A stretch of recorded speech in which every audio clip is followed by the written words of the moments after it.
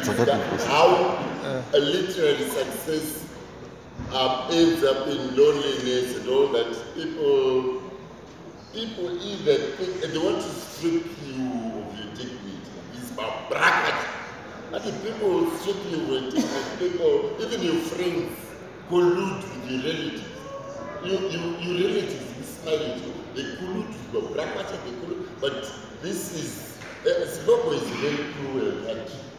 It's a very cruel country. I don't.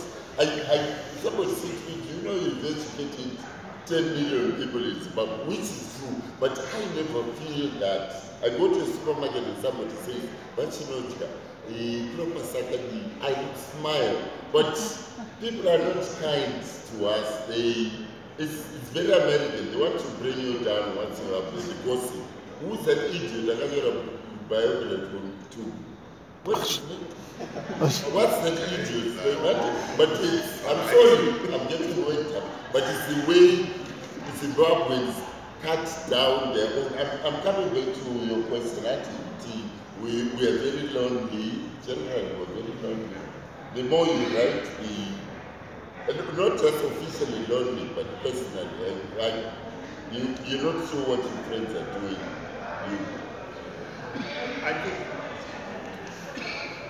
last comment speaks so to quite a number of us. It's a very lonely uh, life. For me as a theatre practitioner, I know I then only come to life when I have to, to activate some character. Then it gives me room to go out there and then do an intense study. Okay, what does this character really like? But other than that, you try to keep yourself to yourself. Um, I'll even take that a little step further. I think my chairman is here, Ray is here. Ray, I've known Ray for the last 24, 25 years, I think. 25 years.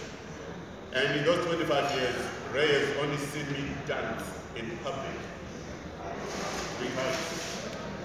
But when I'm outside this country, I'm such an amazing Yes,